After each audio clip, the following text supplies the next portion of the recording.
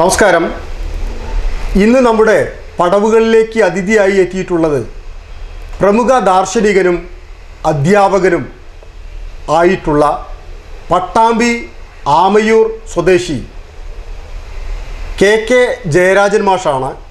ജയരാജൻ മാഷക്ക് പടവുകളിലേക്ക് സ്വാഗതം. മാഷെ സ്വാഗതം. സ്വാഗതം.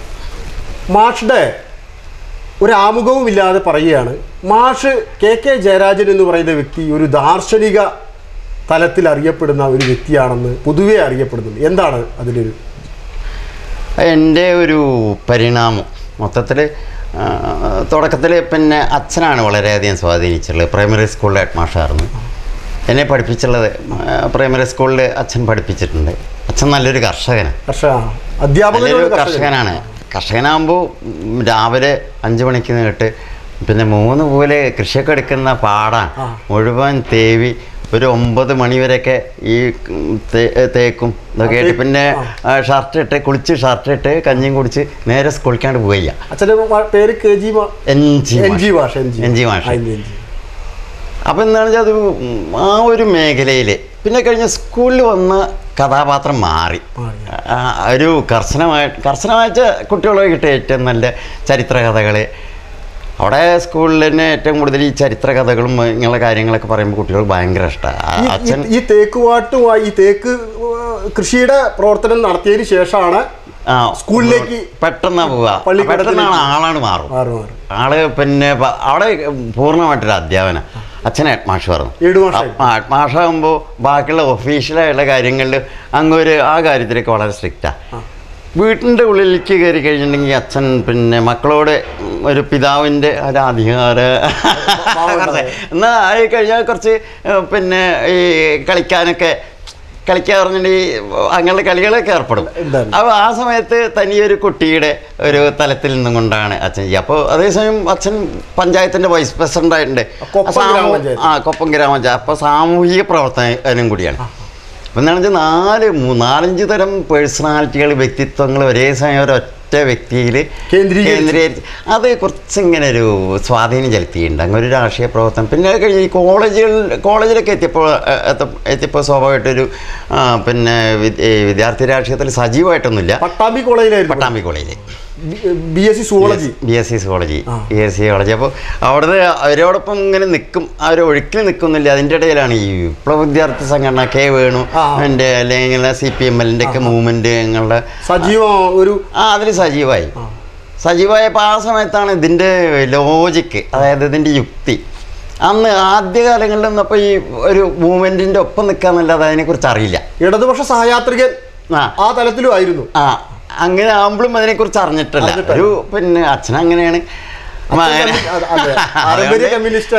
അതുകൊണ്ട് പാരമ്പര്യം മകനും സ്വാഭാവികമായിട്ട് അങ്ങനെ ഇറങ്ങുമ്പോൾ അങ്ങനെ ഇറങ്ങാം.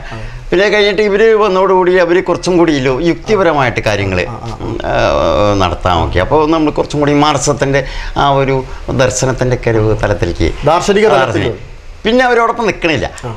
കാരണം എന്താണെന്ന് വെച്ചാൽ ഈ ദാർശനിക തലത്തിലേക്ക് നടക്കുമ്പോൾ ദാർശനിക തലവും രാഷ്ട്രീയ തലം തമ്മിൽ ഒരു ഏറ്റുമുട്ടലുണ്ട്. ഉണ്ട് ഉണ്ട്. രാഷ്ട്രീയം എന്ന് പറയുമ്പോൾ അധികാരം പിന്നെ നിങ്ങളുടെ അങ്ങനെയുള്ള കാര്യങ്ങൾക്കൊക്കെയാണ് പോവുക ദർശനം എന്ന് പറയുമ്പോൾ കുറച്ചും കൂടി സംസ്കാരം അതിൽ ഒരു വേറൊരു മേഖലയിൽ കൂടെയാണ് ഇത് പോവുക. അപ്പോൾ ഒന്നിലും അങ്ങനെ പിന്നെ അവർ രാഷ്ട്രീയപരമായിട്ട് ആ- ആ സഖ്യങ്ങൾ ഉണ്ടാക്കും. അത് നമുക്ക് ദഹിക്കില്ല.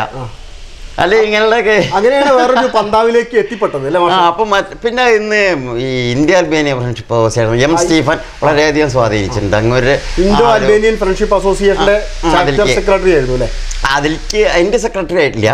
പക്ഷെ എന്നാലും അവരുടെ ഒരു സജീവ തലത്തിൽ അത് ചെറിയൊരു ഗ്രൂപ്പായിരുന്നു എം സ്റ്റീഫൻ ആണ് അങ്ങനെ നല്ല സോളജി പ്രൊഫസറായിരുന്നു. പക്ഷേ സോളജി പ്രൊഫസർ ആണെങ്കിലും അങ്ങനെ എന്നെ പഠിപ്പിച്ചില്ല. എന്നെ പഠിപ്പിച്ചത് പ്രൊഫസർ കെ കെ സേതുമാധവനാണ് സേതുമാധവൻ. സേതുമാധവൻ വേറെ പേഴ്സണാലിറ്റിയാണ് കലാലയ ജീവിതം. കലാലയ ജീവിതം എന്ന് പറഞ്ഞിട്ടുണ്ടെങ്കിൽ രാത്രി ആകെ ഒറ്റ ആൾ. ആദ്യത്തെ സോളജി ബാച്ച് ഒരു ഗവൺമെന്റ് കോളേജിൽ ആ ആദ്യത്തെ സോളജി ബാച്ച് ലാബില്ല പിന്നെ ലൈബ്രറി കമ്മിയാണ്. ആദ്യത്തെ സോളജി ഇങ്ങൊരു രാത്രി പിന്നെ റെഫറൻസ് ഗ്രന്ഥങ്ങളേ ഉള്ളൂ. അല്ലാണ്ട് പ്രിസ്ക്രൈബ്ഡ് ടെസ്റ്റ് ഇല്ല. ഇങ്ങനെ എഴുതി എഴുതിണ്ടാക്കിയിട്ട് പിറ്റേ ദിവസം രാവിലെ പത്ത് മണി മുതൽ നാല് മണി വരെ ഈ ഒറ്റയ്ക്ക് ഏകാംഗമായിട്ട് നിന്നുകൊണ്ട് പിന്നെ അങ്ങൊരു നയിക്കുകയാണ് ക്ലാസ്സിനെ നയിക്കുകയാണ് ആ ക്ലാസ്സിനെ നയിക്കുക ഭയങ്കര ഇച്ഛാശക്തിയാണ്. കാരണം അത്രയും കഴിയാന്നുള്ളത് എന്നിട്ട് എന്ന് ആ ഒരു ഫസ്റ്റ് ഗ്രൂപ്പിനൊക്കെ അങ്ങനെ ഫസ്റ്റ് ബാച്ച് ആ. ഒരു ഇതൊക്കെ നമ്മളെ സ്വാധീനിച്ചിട്ടുണ്ട്. അപ്പോൾ പിന്നെ അതേസമയം ഈ സി ഇവരുടെ ഒപ്പം നിന്നിട്ട് അവരുടെയും ഒപ്പം പിന്നീട് നിന്നില്ലേ? ഈ മാർക്സിസ്റ്റ് ഫിലോസഫി ഒരു ഫിലോസഫി എന്ന് പറയുമ്പോൾ ഏതെങ്കിലും ഒന്നിൽ നിൽക്കില്ല ഫിലോസഫി വൈഡാണ്. വൈഡാണ്. ദാർ- ദർശനം ഉടനീളം രാഷ്ട്രീയമാകുമ്പോൾ ഒരു പാർട്ടിയിലൊക്കെ നമുക്ക് ദർശനം അങ്ങനെയാണ്. ദർശനം അങ്ങനെയാണ്. അപ്പൊ നമ്മൾ പിന്നെ പല ദാർശനികരിലേക്ക് കിടക്കും. പിന്നെ അതിൽ എം എൻ റോയുടെ ദർശനങ്ങൾ സ്വാധീനിച്ചിട്ടുണ്ട്. ഭാഷയെ സ്വാധീനിച്ച ഒരു ഘടകം എനിക്ക് തോന്നുന്നു മാർസും എം എൻ റോയുടെ മാനുഷികതയാണ്. ഇന്ത്യൻ ദർശനങ്ങളും ദർശനങ്ങൾ ഇന്ത്യയുടെ ദർശനം ഇന്ത്യയ്ക്ക് ഒരു ദർശന ദാർശനികമായുള്ള കുറേ സ്വാമി വിവേകാനന്ദൻ ഉൾപ്പെടെ. ആ ഓഷോ രജനീഷ് സ്വാമി വിവേകാനന്ദൻ ശ്രീ ശങ്കരാചാര്യ പിന്നെ ഇങ്ങനെ ശ്രീരാമകൃഷ്ണ വരവംസർ. ഇത് ഈ ദർശനമാകുമ്പോൾ നമ്മൾ വളരെ സ്വതന്ത്രമായിട്ടാണ് ഇതിനെ നോക്കിക്കാണുക അതിന് നമ്മൾ ഒരു റിജിഡിറ്റി വെക്കില്ല. ഇവരൊന്നും പൊളിറ്റീഷ്യന്മാരുമല്ല ഇവർ ഇവരൊന്നും രാഷ്ട്രീയക്കാരല്ല. എന്നാ ഒരു സാമൂഹ്യമായുള്ള കാര്യങ്ങൾ പറയണു. സോഷ്യൽ എല്ലാ കാര്യങ്ങളും അതെ. സാമൂഹ്യ പരിഷ്കാരികളാണ് പരിഷ്കരണവാദികളാണ്. അവർ ആ തലത്തിലാണ്. നവോത്ഥാനം. അവർ ആ മേഖലയില. അതെ. അവരെന്നാ ഒരിക്കലും ഒരു രാഷ്ട്രീയം പറഞ്ഞില്ല. ഈ പിന്നെ സാമൂഹ്യ പരിഷ്കരണത്തിന്റെ മേഖലയിൽ സജീവമായിട്ട് ഉറക്കൊഴിച്ചിട്ട് ഊണ് ഉറക്കമില്ലാതെ പ്രവർത്തിച്ചവരാരും രാഷ്ട്രീയ പ്രക്രിയയെക്കുറിച്ചിട്ടോ ഒന്നും സംസാരിച്ചില്ല. അതേസമയം മാർസിന്റെ ദർശനം പിന്നെ കൂടുതൽ ഈ രാഷ്ട്രീയ പ്രക്രിയയ്ക്ക് ഊന്നൽ ആ, നൽകിയുള്ളത് ആ, രണ്ടും തമ്മിലുള്ള വ്യത്യാസങ്ങൾ അപ്പൊ എന്താണെന്ന് അപ്പോൾ എന്താണ് വെച്ചാൽ ഇവിടെ? ഈ രാഷ്ട്രീയ പ്രക്രിയയിലേക്ക് േക്കാളും കൂടുതൽ നമുക്ക് സ്വതന്ത്രമായിട്ടുള്ള. ഒരു കാഴ്ചപ്പാടും ഒരു വീക്ഷണം സ്വതന്ത്രമായിട്ട് ആളുകളായിട്ട് ഇടപഴകാനും പിന്നെ കുറച്ച് നന്നായിട്ട് അവിടെയുള്ള സർഗാത്മകതയൊക്കെ വരിക. ക്രിയേറ്റീവ്നെസ് ആ മറ്റേത് ഞാൻ നിങ്ങളോട് ഇന്നത് സംസാരിക്കാമെന്ന പിന്നെ നമ്മളുടെ ഈ സംസാരത്തിന് ഒഴുക്കില്ല. സീമകൾ സീമകളില്ലാത്ത ദർശനം. അത് ദർശനമേ വരുള്ളൂ. ദർശനമേ വരുള്ളൂ. അതിർത്തികളില്ല. രാഷ്ട്രീയത്തിൽ വരില്ല. രാഷ്ട്രീയത്തിൽ വരില്ല. എന്താണെന്ന് വെച്ചാൽ എനിക്ക് നിങ്ങളുമായിട്ട് കമ്മ്യൂണിക്കേറ്റ് ചെയ്യുമ്പോൾ സംസാരിക്കുമ്പോൾ അതിങ്ങനെ നമ്മൾ തമ്മിൽ ആ ബാരിയർ പാടില്ല. പക്ഷേ അവിടെ വരുമ്പോൾ വാഷോട് ഇപ്പോൾ ഒന്ന് ചോദിക്കാം. രാഷ്ട്രീയ നിലപാടുകൾക്കാണ് പ്രാമുഖ്യം വരുന്നത്. പൊതുസമൂഹം സ്വീകാര്യത ഉള്ളത്. ദർശനത്തിനേക്കാൾ ഒരു ദർശനത്തിന്റെ ദർശനത്തിന്റെ സ്പേസ് നിന്നുകൊണ്ട് തന്നെ ദർശനത്തിന്റെ ബേസിൽ നിന്നുകൊണ്ട് തന്നെ രാഷ്ട്രീയ അധികാരമാണ് ഉള്ളത് അല്ലേ രാഷ്ട്രീയ അധികാരം ഉണ്ടെങ്കിലാണ് ആളുകൾക്ക് എന്തെങ്കിലും ചെയ്യാൻ പറ്റുമെന്ന് മാഷക്ക് ബോധ്യമുണ്ടല്ലോ അല്ലേ ആ അതായത് ഒരു രാഷ്ട്രീയ പ്രക്രിയ വേറെ. അത് വേറെയാണ്. ഇപ്പോൾ നമ്മൾ സയൻസിനെ തന്നെ വേറെ വേറെ എടുത്തു കഴിഞ്ഞിട്ടുണ്ടെങ്കിൽ ആ. രാഷ്ട്രീയം ഉണ്ട് ഇക്കണോമിക്സ് ഉണ്ട്. ഇതൊക്കെ വളരെ ഒന്ന് വളരെയധികം വിജ്ഞാനം ഈ മേഖലയിലൊക്കെ ഉണ്ട്. അപ്പോൾ എല്ലാറ്റിലും കൂടി ഒരാളെ കടന്നു കയറി വർക്ക് ചെയ്യാനോ ഒന്നും കഴിയില്ല ഇപ്പം നമ്മൾ രാഷ്ട്രീയത്തിൽ നിൽക്കണം വെച്ചാൽ അതിൽ പൂർണമായിട്ട് പഠിക്കണം. എന്നാൽ ഇന്നുള്ള രാഷ്ട്രീയക്കാരെ ചെയ്യണമില്ല ഈ. അങ്ങനെ അതെ അത് പൂർണമായിട്ട് പഠിക്കണം. അതിന്റെ ദർശനമായിട്ടുള്ള ബന്ധം സാംസ്കാരിക മേഖലയായിട്ടുള്ള അതിന്റെ ബന്ധം ഇവ സാധനങ്ങളൊക്കെ കൃത്യമായിട്ട് പഠിച്ച നല്ലൊരു കാഴ്ചപ്പാട് പോളിസി ഇവ കാര്യങ്ങൾ. ഇപ്പോൾ അധികാരത്തിൽ ഒതുങ്ങി നിൽക്കുകയാണ്. ഈ ഓരോരോ കാര്യങ്ങൾ അധികാരത്തിൽ ഒതുങ്ങി നിൽക്കുന്ന ഒരു പ്രശ്നമുണ്ട്. അപ്പോൾ അപ്പോൾ കോംപ്രമൈസ് ചെയ്യേണ്ടി വരും. അപ്പോൾ കോംപ്രമൈസുകൾ അത് ധാരാളം ഉണ്ടാവേണ്ടി വരും. അങ്ങനെ ധാരാളം രാഷ്ട്രീയത്തിൽ വരും. രാഷ്ട്രീയത്തിൽ പക്ഷെ ദർശനത്തിലില്ല. ദർശനത്തിൽ കോംപ്രമൈസ് അവിടെ എന്താണെന്ന് വെച്ചാൽ നമ്മൾ തമ്മിലുള്ള ഈ സഹവർത്തിത്വത്തിന്റെ ഏറ്റവും നല്ല രൂപം എന്ന് പറയുന്നത് ദാർശനിക മേഖല. അത് സാംസ്കാരിക മേഖലയ്ക്കാണ് വരിക. ദർശനത്തിന്റെ ദർശനത്തിന്റെ മേഖല നേരെ സാംസ്കാരിക മേഖലയായിട്ടാണ് ലിങ്ക് ചെയ്യുക. അത് രാഷ്ട്രീയത്തിന്റെ മേഖല വേറൊരു സാംസ്കാരിക മേഖലയുടെ വഴി തുറക്കുക. കുറച്ചും കൂടി സ്വതന്ത്രമായിട്ട്. അവിടെ പിന്നെ ഈ ദർശനം എല്ലാവരും ഒരുമിപ്പിക്കാനുള്ളതാണ് അതെ അതെ അതെ. രാഷ്ട്രീയം എന്ന് പറയുമ്പോൾ നിലനിൽക്കുന്ന ഒരു അവസ്ഥ ഉണ്ട് ഇന്നിപ്പോൾ നിലനിൽക്കുന്ന ഒരു അവസ്ഥ ഉണ്ട് ഈ അവസ്ഥയിൽ ഇന്ന് ചെയ്യേണ്ടത് എന്താണ് ഇപ്പം ഒന്ന് ഉച്ചയ്ക്ക് നമുക്ക് ഒരു മണിക്ക് ഭക്ഷണം കഴിക്കണം. ആ. അത്രയൊക്കെ ഉള്ളൂ. നീടാണ് നീടാണ് ആ നീടാണ്. അത് കഴിഞ്ഞിട്ടുണ്ടെങ്കിൽ പിന്നെ അടുത്ത ഇതിങ്ങനെ രാഷ്ട്രീയ പ്രക്രിയയിൽ കൂടുതൽ അതിൽ നീതി ന്യായം അത് സമൂഹത്തിന്റെ സമൂഹത്തിന്റെ മുന്നോട്ട് ഇപ്പോൾ മനുഷ്യൻ ഈ പരിണാമത്തിന്റെ ഒരു തലത്തിൽ തന്നെ നോക്കുക. ഇപ്പോൾ അജൈവവസ്തുക്കളുണ്ട്. അതിൽ നിന്ന് ജീവജാലങ്ങൾ. ജീവജാലങ്ങൾ ജൈവ പരിണാമം. ഡാർവിന്റെ പരിണാമ സിദ്ധാന്തം. ആ അങ്ങനെ കടന്നു. Original species Darwin Charles Darwin. അതെ. അതൊക്കെ ഒരു ബേസ് ചെയ്തിട്ടാണ് മാഷയുടെ ഒരു അതെ. പരിണാമമാണ് ബേസ് ചെയ്യുന്നത്. എല്ലാറ്റിലും ബേസ്. ചെയ്യുന്നത്. ആ ഇപ്പം ഇപ്പോൾ നിലനിൽക്കുന്ന പരിണാമം മനുഷ്യന്റെ മനസ്സിലാണ്. ഇപ്പോൾ ഈ മൂന്ന് തലത്തിൽ കാണാൻ കഴിയും. ഒന്ന് ഈ അജൈവമായിട്ടുള്ള വസ്തുക്കളെ കാണാൻ കഴിയും. പിന്നെ കഴിഞ്ഞാൽ ജീവജാലങ്ങൾ അത് വേറെ ആ തലത്തിൽ അതിന്റെ ഒരു പരിണാമം. ആ അതിൽ നിന്ന് പിന്നെ അടുത്ത ഘട്ടം എന്നുള്ള നിലയ്ക്കാണ് പിന്നെ മനുഷ്യൻ വരുന്നത് മനുഷ്യൻ ബുദ്ധിയോട് കൂടിയിട്ടാണ് വരുന്നത് അല്ല ബുദ്ധിയോട് കൂടി വരില്ല ബുദ്ധി ഇവല്യൂഷനിലൂടെ സംഭവിക്കുകയാണ്. പക്ഷെ അതോടുകൂടി ഒരു മനസ്സിനൊരു സ്വതന്ത്രമായിട്ടുള്ള നിലനിൽപ്പ് വരുന്നുണ്ട് ബുദ്ധിയുണ്ട് അഹങ്കാരം ബുദ്ധിയും അഹങ്കാരം ഒരുമിച്ച് വരുന്നുണ്ട് ഓ. ഒരുമിച്ച് വരുമ്പോൾ ഒരു മനസ്സ് എന്നുള്ളൊരു ആ ഒരു സാധനം വരുന്നത് പിന്നെ ഇനി ഇപ്പോൾ നടക്കുന്ന ഈ പരിണാമം മനുഷ്യന്റെ മനസ്സിലാണ് ഇപ്പോൾ സംഘർഷങ്ങൾ പെട്ടെന്ന് തോന്നും ഇത് അവർ തമ്മിലുള്ള വ്യക്തിപരമായുള്ള പ്രശ്നങ്ങൾ പക്ഷെ അങ്ങനെയൊന്നുമല്ല.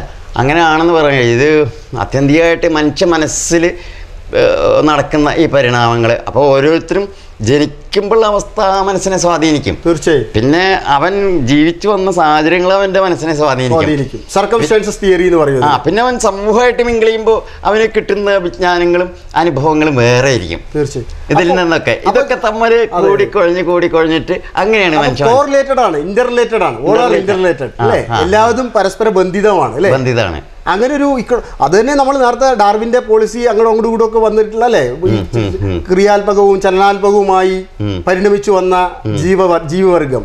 ആ ജീവിവർഗത്തിൽ ഇപ്പോൾ മനുഷ്യന്റെ ഉൽപ്പത്തിയെ കുറിച്ച് ഭാഷ പറഞ്ഞു.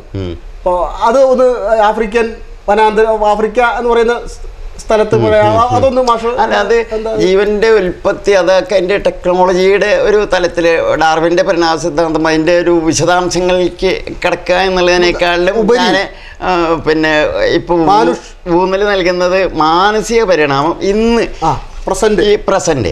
മനുഷ്യ മനുഷ്യകുലത്തിന്റെ. ആ, എത്തി വെക്കുന്നത്. അപ്പോൾ പിന്നെ ആദ്യത്തിൽ വരുമ്പോൾ ഗോത്രവർഗങ്ങളാകുമ്പോൾ ഗോത്ര സംസ്കാരമായിരുന്നു ഗോത്ര അവിടെ കൂടുതൽ രക്തബന്ധങ്ങൾക്കാണ് ജൈവബന്ധങ്ങൾക്കാണ് ഒന്നിൽ കിട്ടുക. അതിന്റെ നിയമങ്ങളും വരുണ്ടാക്കിയിട്ടുണ്ടാവും അങ്ങനെയുള്ള കാര്യങ്ങൾ നടന്നിട്ടുണ്ടാവും. ഇന്ന് പിന്നെ ടെക്നോളജിയുടെ ഒരു കാലഘട്ടത്തിലാണ് ശാസ്ത്ര സാങ്കേതിക സാങ്കേതിക ഇതിന്റെ ഒരു കുതിച്ച് മുന്നേറ്റത്തിലുള്ള അതിന്റെ ഉള്ളിലാണ് നമ്മൾ നിൽക്കുന്നത്. ഇപ്പോൾ ഇവിടെ ഇവിടെ ഇപ്പോൾ നിലനിൽക്കുന്ന അവസ്ഥ എന്ന് പറയുന്നത് സോഷ്യൽ മൂവ്മെന്റ്സ് ഉണ്ട്. സാമൂഹ്യ പ്രസ്ഥാനങ്ങൾ പ്രസ്ഥാനങ്ങളുണ്ട് അവകാശ പ്രസ്ഥാനങ്ങളുണ്ട് Right നീതി നീതി നിഷേധിക്കപ്പെട്ടവരുടെ മൂവ്മെന്റുകൾ അവഗണിക്കപ്പെട്ട അത് അവഗണിക്കപ്പെട്ട. പിന്നെ കാലാകാലങ്ങളിൽ ഇങ്ങനെ ഈ ചരിത്രപരമായിട്ട് പിന്നെ അങ്ങനെയുള്ള മൂവ്മെന്റ്സുകൾ വേറെ നിൽക്കുന്നുണ്ട്. അതേസമയം മനുഷ്യന്റെ സ്വതന്ത്രമായിട്ടുള്ള തോട്ടുകൾ. അത് ഒരു തലത്തിൽ നിൽക്കുന്നുണ്ട്. ഒരു പുറത്ത് കലയും സാഹിത്യവും പിന്നെ ആർട്ട് ഇതൊക്കെ ഇങ്ങനെ കുതിച്ച് കുതിച്ച് കയറിക്കൊണ്ടിരിക്കുക. വൻ മുന്നേറ്റം നടക്കുന്നു. ബയോളജി ബയോളജിയുടെ രംഗത്താണ് വെച്ചാൽ ജെനറ്റിക്സ് ജെനറ്റിക്സ് അതിന്റെ ശാസ്ത്രശാഖ എന്നുള്ള നിലയ്ക്ക് അതന്നെ ഡെവലപ്പ് ചെയ്യുന്നുണ്ട്. തീർച്ചയായും തീർച്ചയായും തീർച്ചയായും. ഈ ജെനറ്റിക്സിന്റെ ഒക്കെ പിന്നെ ഈ ഇപ്പോൾ വൈദ്യശാസ്ത്ര രംഗത്തൊക്കെ നോക്കിക്കഴിഞ്ഞിട്ടുണ്ടെങ്കിൽ ഇപ്പോൾ ആശുപത്രികൾ ഇതൊക്കെ ഒരു വികാസത്തിന്റെ ഒരു ഭാഗമായിട്ടും കൂടി കാണാം. അപ്പോൾ നമുക്ക് എന്താണെന്ന് വെച്ചാൽ ഒരു മേഖലയിൽ പ്രവർത്തിക്കുന്നവർക്ക് ആ മേഖലയിൽ തന്നെ ആജീവനാന്തം ഗവേഷണം നടത്താനും പ്രായോഗികമാക്കാനുമുണ്ട്. അപ്പോൾ ഒരു രാഷ്ട്രീയ മേഖലയിൽ പ്രവർത്തിക്കുന്നവർ ആ മേഖലയിൽ നന്നായിട്ട് ചെയ്യണം. തീർച്ചയായും നന്നായിട്ട് ചെയ്യണം. അതെ അതെ ദാർശനിക രംഗത്തുള്ളവർ ആ മേഖലയിൽ നന്നായിട്ട് ചെയ്യണം. അപ്പോൾ ഓരോ മേഖലയിലും പിന്നെ നിലനിൽക്കുന്ന ആവശ്യങ്ങൾ ആവശ്യങ്ങൾ പരിഹരിച്ചുകൊണ്ട് വേണം മുന്നോട്ട് പോകാൻ. സമൂഹത്തിന് മുന്നോട്ട് പോകാൻ എനിക്ക് മാഷ ഞാൻ ഒരു ചോദ്യം ചോദിക്കട്ടെ? മാഷയുടെ ഒരു മുഖ്യധാരാ പ്രവർത്തനം എന്ന് പറഞ്ഞാൽ മാനുഷിക പ്രവർത്തനവും ഹ്യൂമാനിറ്റി അപ്രോച്ചുമാണ്. എല്ലാവരെയും സഹായിക്കുക ആവശ്യക്കാരെ സഹായിക്കുക അവഗണിക്കപ്പെട്ടവനെ സഹായിക്കുക. മാനുഷം എന്ന് പറയുന്ന ഒരു ചിന്താധാര മാഷ് മുന്നോട്ട് വയ്ക്കുന്നുണ്ട് ഈ ഒരു മാനുഷത്തിന്റെ ഒന്ന് രണ്ട് പുസ്തകങ്ങൾ മാഷ് എഴുതിയിട്ടുണ്ട്. മാനുഷം എന്ന് പറയുന്ന പുസ്തകത്തിന് ധാരാളം സമ്മാനങ്ങളും പുരസ്കാരങ്ങളും ലഭിച്ചിട്ടുണ്ട്. എന്താ മാനുഷത്തിന്റെ ഒരു മാനുഷിപ്പ് മാനവികതയെ കുറിച്ചിട്ട്. അതുകൊണ്ടാണ് മാനവികത എന്നുള്ള വാക്കുപോലും മാറ്റിയിട്ട് ഞാൻ മാനുഷവന്മാക്കി ആക്കിയത്. കാരണം അതിനെ മാനവികത ഹ്യൂമനിസം എന്ന് പറയുമ്പോൾ ഒരു ഇസം എന്നുള്ള നിലയ്ക്ക് നമുക്കൊരു പൊളിറ്റിക്കൽ സയൻസ് വരുന്നുണ്ട്. ഈ പൊളിറ്റിക്കൽ സയൻസിൽ വരുമ്പോൾ അവിടെയുള്ള പ്രശ്നം എന്താണെന്ന് വെച്ചാൽ വിഭാഗീയാണ്. കമ്പാർട്ട്മെന്റലൈസേഷനാണ് നടക്കുന്നത്. അപ്പോൾ പിന്നെ ഓരോ മതങ്ങൾക്ക് മാന മാനുഷിക വീക്ഷണങ്ങൾ മാനവീയ വീക്ഷണങ്ങളുണ്ട്. രാഷ്ട്രീയ പാർട്ടികൾക്കുണ്ട്. എല്ലാവർക്കും ഉണ്ട്. ഇപ്പോൾ ആ ഓരോ രാഷ്ട്രീയ ഇപ്പോൾ ഇന്ത്യൻ നാഷണൽ കോൺഗ്രസ് എന്ന് പറയുമ്പോൾ ഇത് സ്ഥാപിക്കപ്പെടുന്നത് പ്രത്യേകിച്ചും ഗാന്ധിയൻ ദർശനത്തെ ബേസ് ചെയ്തുകൊണ്ടാണ്. എപ്പോഴും ഒരു ദർശനത്തിന് പിന്തുണയാണ്. എല്ലാ രാഷ്ട്രീയ പാർട്ടിയുടെയും അടിത്തറ ദർശനത്തിന്റെ വിധാനമാണ്. കമ്മ്യൂണിസ്റ്റ് പാർട്ടികളുടെ എല്ലാവരുടെയും മാർസാണ് അപ്പോൾ എല്ലാവരുടെയും പിന്തുണ ദർശനത്തെ ബേസ് ചെയ്തുകൊണ്ടാണ് എല്ലാവരും ചെയ്യുന്നത്. എന്നാൽ ഇതിലൊരു കമ്പാർട്ട്മെന്റലൈസേഷൻ അതായത് വിഭാഗീകരിക്കുക. അതായത് പിന്നെ ഞാൻ ഒരു ഗ്രൂപ്പാണ്. അല്ലെങ്കിൽ ഒരു സംഘടനയാണ്. ആ. സംഘടനയിൽ ഈ സംഘടനയിൽപ്പെട്ട ആളുകളെ കൊള്ള പിന്നെ നല്ല കാര്യങ്ങൾ ചെയ്യുന്നവരും എല്ലാവരും ഉണ്ടാവും. എല്ലാ തരത്തിലും ഉണ്ടാവും. എന്നാലും ഈ ഗ്രൂപ്പിലുള്ളവർ തമ്മിൽ തമ്മിൽ മനുഷ്യത്വപരമായ ഒരു ഐക്യം ഐക്യം. എതിർ ഗ്രൂപ്പുകൾ മുഴുവൻ മനുഷ്യന്മാരല്ല. അതെ. ഈ അതിന് അതിന് എതിരായിട്ട് വരുന്ന മറ്റ് എതിരായിട്ട് നിൽക്കുന്നവരെന്നും ഒരു മനുഷ്യന്മാരുടെ ഗണത്തിൽപ്പെടുന്നവരല്ല അതെ അതെ അപ്പം ഇങ്ങനെ ഒരു കമ്പാർട്ട്മെന്റലൈസേഷൻ ഹ്യൂമനിസത്തിന്റെ കാര്യത്തിൽ അതിന്റെ ആവശ്യമില്ല. ഈ പരിണാമത്തിൽ മനുഷ്യനും പ്രകൃതിയും. മനുഷ്യന്റെ നിലനിൽക്കുന്ന പരിണാമം എന്ന് പറയുന്നത് മാനസിക തലത്തിലാണ്. ഈ മാനസിക പരി തലത്തിലുള്ള പരിണാമത്തെ സ്വാധീനിക്കുന്ന ഘടകം എന്ന് പറയുന്നത് മനുഷ്യൻ പ്രകൃതിയും തമ്മിലുള്ള ബന്ധത്തിൽ മനുഷ്യൻ പ്രകൃതിയിൽ നടത്തുന്ന ഉൽപ്പാദന പ്രവർത്തനങ്ങളും പിന്നെ ശാസ്ത്ര പ്രവർത്തനങ്ങളും ഈ സമൂഹത്തെ ഏകീകരിക്കാനുള്ള സാംസ്കാരിക പ്രവർത്തനങ്ങളുമാണ്. ഈ നീതി ന്യായ വകുപ്പൊക്കെ അതിൽ വരുന്നതാണ്. അപ്പോൾ എന്താണെന്ന് വെച്ചാൽ ഈ മനുഷ്യനും പ്രകൃതി അത്ര എടുത്താൽ മതി. അങ്ങനെ വരുമ്പോൾ ഇനി ഈ മനുഷ്യരാശിയുടെ നിലനിൽപ്പിന് സാമൂഹ്യമായിട്ടുള്ള നിലനിൽപ്പിന് നമ്മൾ ഈ കമ്പാർട്ട്മെന്റലൈസേഷന്റെ ആവശ്യമില്ല. ഹ്യൂമനിസം എന്ന് പറയുന്നത് പിന്നെ ഈ ലോകത്തിലുള്ള എല്ലാവർക്കും. എല്ലാവരും എല്ലാ മനുഷ്യന്മാരും ജീവജാലങ്ങളെയും ആ. തന്റെ ആത്മാവിലേക്ക് ഒരർത്ഥത്തിൽ പറഞ്ഞാൽ ആത്മാവിലേക്ക് സ്വീകരിക്കുക എന്നുള്ളത് അവിടെയാണ് നമുക്ക് സംവേദനം കഴിയുള്ളൂ. അതെ അതെ. മാഷുടെ പുസ്തകങ്ങളിൽ ഇപ്പോൾ മാഷുടെ മാനുഷ്യം എന്ന് പറഞ്ഞ പുസ്തകത്തിന്റെ ഒരു പേജിൽ പല അധ്യായങ്ങളാണ്. സൗഹൃദമില്ലാത്ത സ്നേഹം സ്വാർത്ഥതയാണ് എന്ന് പറയുന്നുണ്ട് ഒരു അധ്യായത്തിൽ. എന്താണ് അതിന്റെ ഒരു ഒരു ഡെപ്നെസ് ഒരു ആഴം പരപ്പ്. ഒന്ന് പറയാമോ? ഇപ്പോൾ ഈ സൗഹൃദം സൗഹൃദം നമ്മൾ ഫ്രണ്ട്ഷിപ്പ് എന്ന് പറയുമ്പോൾ ഒരു എല്ലാ മനുഷ്യനും നന്മയുണ്ട് തിന്മയുണ്ട്. അതിൽ നല്ലതും ചീത്തതും. നല്ലതും ചീത്തതും തന്നെ നമ്മുടെ കോൺസെപ്റ്റാണ് നമ്മൾ. നമുക്കായിട്ട് ഉണ്ടാക്കിയുള്ള ചില സാധനങ്ങളാണ് നല്ല നല്ലതും ചീത്ത എന്ന് പറയുന്നത് അതിൽ കൂടുതൽ അർത്ഥങ്ങളൊന്നുമില്ല. അപ്പോൾ ഓരോ വ്യക്തിയിലും ഇത് രണ്ടുമുണ്ട് ഇതിപ്പോ ഇതിപ്പോൾ ഞാനും നമ്മൾ രണ്ടുപേരും ഇവിടെ ഇരിക്കുമ്പോൾ ആ. നിങ്ങളുടെ നല്ലതിനെയും ചീത്തതിനെയും ഞാൻ ഒരുപോലെ കാണുന്നുണ്ട്. തീർച്ചയായും. ഇത് അംഗീകരിച്ചും കൊണ്ടാണ് ഞാൻ നിങ്ങളുമായിട്ട് സൗഹൃദത്തിൽ സൗഹൃദത്തിൽ ആ അസൗഹൃദത്തിൽ ഏർപ്പെടുന്നത്. അപ്പൊ അപ്പോൾ അതേപോലെ എന്നിലുള്ള നന്മയും തിന്മയും നിങ്ങളും കാണുന്നുണ്ട്. തീർച്ചയായും തീർച്ചയായും. ഇവിടെ നമുക്ക് തമ്മിൽ ഈ സൗഹൃദപരമായുള്ളൊരു ബന്ധം എന്ന് പറയുമ്പോൾ നിങ്ങളുടെ ആ പിന്നെ ആ തിന്മയുടെ വശത്തെ വളരെ സൗഹൃദപരമായിട്ട് മാറ്റിയെടുത്ത് നിങ്ങളെ കുറച്ചും കൂടി ഒരു നല്ല രീതിയിൽ ആ കംഫർട്ടബിൾ ആക്കുക എന്ന് മാത്രം എനിക്ക് വേണ്ടി മാത്രമല്ല നിങ്ങൾ ഈ സൊസൈറ്റിയിൽ എത്രമാത്രം വളരുന്നു. സ്വീകാര്യത ഉണ്ടാകുന്നു. എനിക്കും പറയാലോ ബിജുമാൻ എന്റെ. സുഹൃത്താണ്. ജയരാജ മാഷ് നമ്മൾ അങ്ങനെ തിരിച്ചു പറയുന്നു.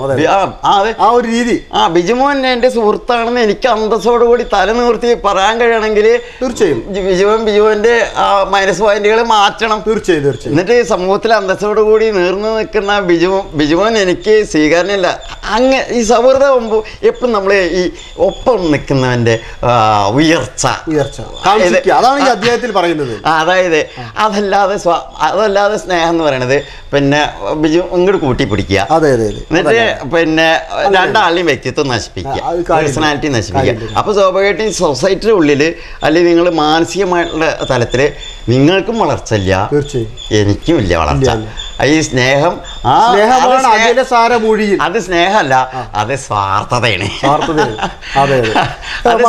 കാരണം എന്റെ വ്യക്തിത്വത്തെ നശിപ്പിക്കുന്ന ഒന്നും സ്നേഹമല്ല സ്വാർത്ഥത മാഷക്ക് ഇപ്പോ? മാഷക്ക് മലബാർ സൗഹൃദ വേദിയുടെ പുരസ്കാരം കിട്ടി.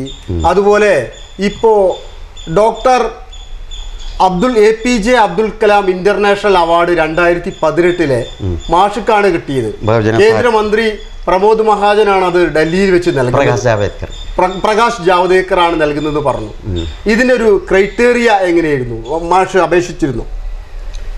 എന്താണെന്ന് മൊത്തം എന്റെ ഈ പേഴ്സണൽ ആയിട്ടുള്ള. ഇത്തരം ആക്ടിവിറ്റീസും അത് പിന്നെ അവർ നിരീക്ഷണത്തിൽ വന്നുള്ള കാര്യങ്ങൾ ഇതായിട്ട് പിന്നെ അവർ ബന്ധപ്പെടുകയും പിന്നെ കാര്യങ്ങൾ പിന്നെ ആ വിശദ എന്നിട്ട് വിശദാക്കുകയാണ് ചെയ്തുള്ളത്. അതിൽ അത്രയാകുമ്പോൾ പിന്നെ ഈ ആ ഒരു തലത്തിൽ രണ്ടു കൂട്ടുന്ന അവർ ഒരു നിരീക്ഷണത്തിൽ വന്നുള്ള കാര്യങ്ങൾ വിശദമായിട്ടുള്ള ഇത്തരം കാര്യങ്ങളൊക്കെ വിശദമാണ് അതെ അതെ അതെ മാഷ് ഒരു അധ്യാ ജയരാജ് കെ കെ ജയരാജൻ എന്ന് പറയുന്ന ഒരു ഒരു പ്രൈമറി സ്കൂളിലെ അധ്യാപകനാണ്. അവിടുത്തെ ഹെഡ് മാഷായിട്ട് ജോലി ചെയ്തിട്ടുണ്ട്. മറ്റു പ്രവർത്തനങ്ങളിലൊക്കെ ഏർപ്പെട്ടിട്ടുണ്ട്. കുട്ടികൾക്ക് ഈ ഇപ്പോൾ വളർന്നു വരുന്ന കുട്ടികളോട് മാഷക്ക് എന്താ പറയാനുള്ളത് വളർന്നു വരുന്ന കുട്ടികൾ ടെക്നോളജിയുടെ മേഖലയിൽ വളരെ മുന്നിലാണ്. വളരെ ഏറെ മുന്നിലാണ് ടെക്നോളജിയുടെ മേഖലയിൽ. അതായത് ഒരു പിന്നെ മനസ്സിങ്ങനെ കൂടുതൽ കൂടുതൽ ഈ ജൈവികമായുള്ള യാഥാർത്ഥ്യങ്ങളിൽ നിന്ന് അകന്നു പോവുക യന്ത്രത്തിന്റെ ഒരു പാർട്ടായിട്ട് മാറുന്ന ഒരു അവസ്ഥയിലേക്ക് കാര്യങ്ങൾ കുറച്ച് പോകുന്നുണ്ട്. അപ്പോൾ അവരുടെ മാനസിക ഘടന തന്നെ ഈ യന്ത്രത്തിന്റെ അനുബന്ധ പ്രവർത്തനങ്ങളായിട്ട് അതായത് ഞാൻ തന്നെ ഒരു യന്ത്രത്തിന്റെ ഭാഗമാണെന്ന് ഞാൻ അംഗീകരിച്ചിട്ട് അതിന്റെ ഒരു പാർട്ടായിട്ട് നിൽക്കുമ്പോൾ ആ അത് ആ ഒരു അവസ്ഥ. പിന്നെ നാളെ ഈ യന്ത്രം ചലിപ്പിക്കുന്ന ആളെ കയ്യിലെടുക്കുന്ന ആൾ എന്നെയും കൂടി ചലിപ്പിച്ചു കൊടുക്കും ഓ. അത് അതങ്ങനെയാണ് ഈ യന്ത്രത്തിന്റെ ഒരു പാർട്ടായിട്ട്. അത് ഈ യന്ത്രങ്ങളുടെ ഇത്തരം വികാസങ്ങൾ അനിവാര്യമാണ്. മൊത്തം അനിവാര്യ അനിവാര്യ ഘടകമാണ്. കുട്ടികൾ അതേസമയം പിന്നെ ഈ കുറച്ചും കൂടി സമൂഹം ഇത്തരം കാര്യങ്ങൾ അതുകൊണ്ടാണ് ഈ സാംസ്കാരിക സർഗാത്മക പ്രവർത്തനങ്ങളിലും സാംസ്കാരിക പ്രവർത്തനങ്ങളും കലാകായിക പ്രവർത്തനങ്ങളിലും കൂടുതൽ കൂടുതൽ ഇടപഴകുകയും ഇടപഴകിക്കൊണ്ട് മാത്രമായില്ല അവരുമായിട്ട് പിന്നെ അവരുമായിട്ട് ഇത്തരം കൂടുതൽ ദാർശനിക മേഖലയിലുള്ള സംവാദങ്ങളും എന്താണെന്ന് വെച്ചാൽ രാഷ്ട്രീയത്തിന്റെ പാരലായിട്ട് തന്നെ ഒരു പാരല ഫോഴ്സായിട്ട് തന്നെ സാഹിത്യത്തിന്റെയും കലയുടെയും ആർട്ടിന്റെയും ദർശനത്തിന്റെ കരുതലം ഒപ്പത്തിനൊപ്പം വളരേണ്ടതുണ്ട്. മറ്റേ ഒന്നിന്ന് ഡിറ്റേച്ച് ചെയ്ത് വളരുമ്പോൾ ആ ഒരു ഭാഗത്തു കൂടെ ഒരു പുറത്തു കൂടെ അങ്ങനെ പോകുന്നു. ഒരു അങ്ങനെ വരുമ്പോൾ അങ്ങനെയാണ് വരുന്നത്. പല സ്ഥലത്തും മാഷ് ഇപ്പോൾ തൃശ്ശൂരായാലും തൃശ്ശൂർ സാഹിത്യ അക്കാദമിയിൽ പരിപാടി പരിപാടികൾ നടത്താറുണ്ട്. കാലിക്കറ്റ് ആണെങ്കിൽ സെന്റിനറി ഹാളിലും എസ് കെ പൊറ്റക്കാടിന്റെ മന്ദിരങ്ങളിലൊക്കെ പരിപാടി ടാഗോർ ഹാളിലൊക്കെ പരിപാടികൾ നടത്താറുണ്ട്. വൈലോപ്പള്ളി സംസ്കൃതി ഭവനിൽ പരിപാടി നടത്താം. ഇവിടെയൊക്കെ ആളുകൾ ഇതിന് സജീവമായിട്ട് ഇടം വരുന്നുണ്ട് അല്ലേ മാഷെ? മനുഷ്യം മാനുഷം കേൾക്കാനും പിന്നെ അവിടെ ഇവിടെ തൃശ്ശൂര് തൃശ്ശൂരായാലും തൃശ്ശൂര് സാഹിത്യ അക്കാദമിയിൽ പിന്നെ നല്ല സാസ നല്ല സദസ്സായിരുന്നു Calicut all India radio cover ചെയ്തു. ഓൾ ഇന്ത്യ റേഡിയോ കവർ ചെയ്തു. ഇപ്പോ ഇരുപത്തിനാല് നാളെ പിന്നെ കോഴിക്കോട് വെയിൽ സൗഹൃദ വേദിയുടെ ഒരു പരിപാടി ആ പരിപാടി കോഴിക്കോട് വെച്ചിട്ട്. ഇതിലെന്താ എല്ലാവരും ഈ വിഷയം പ്രസന്റ് ചെയ്യുക അല്ലെങ്കിൽ എല്ലാവരും അവരുടെ മനസ്സിൽ താൻ അംഗീകരിക്കപ്പെടണമെന്നുണ്ട് അതെ അതെ അതെ. മനുഷ്യ ആഗ്രഹിക്കുന്നുണ്ട്. പക്ഷെ ഇത് ആരും നൽകുന്നുള്ളതാണ് പ്രശ്നം. പ്രശ്നം. അതായത് ഞാൻ പിന്നെ മറ്റുള്ളവർ സമൂഹത്തിൽ നിന്ന് ഒരു അംഗീകാരം ആഗ്രഹിക്കുന്നുണ്ട്. അതേസമയം ഞാൻ മറ്റുള്ളവരെ അത് അംഗീകരിക്കുന്നുമില്ല. ആ അതാണ്. അംഗീകരിക്കുന്നില്ല. അപ്പൊ കൊടുക്കൽ വാങ്ങൽ. അപ്പൊ ഇത് ആരാണ് ചെയ്യേണ്ടത്. ആരാണ് ആരെയാണ് അംഗീകരിക്കേണ്ടത്? അവിടെയാണ് നമ്മൾ പാരസ്പര്യം പരസ്പരം ചെയ്യുക ഞാൻ നിങ്ങളെ- അംഗീകരിക്കുക.